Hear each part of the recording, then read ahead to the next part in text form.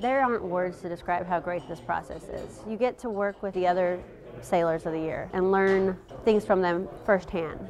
Petty Officer Desiree Gonzalez has just spent a week getting to know several of her peers from around the 7th Fleet. Every single one of them has taught me something new this week that I definitely wasn't prepared for. So it's, it's just a great experience.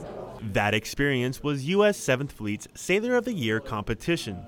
Six sailors, chosen by their commands for their leadership and accomplishments, competed to see who would take home the title.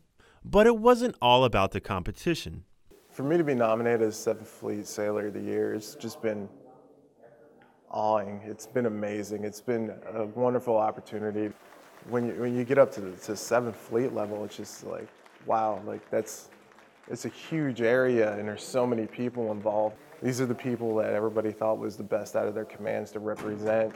Although Gonzalez and Parrish both won, they believe time spent with other nominees during the event meant more than the title. Getting to even be judged against them, I think is just a great experience. So I want to tell them thank you. Thank you for humbling me and reminding me how much I still have to grow and learn.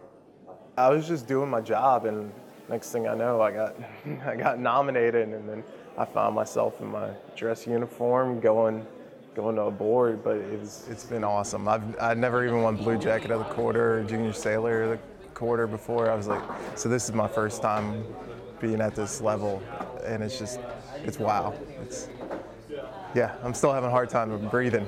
it's that good. Reporting from Fleet Activities Yokosuka, I'm Petty Officer Michael Raney.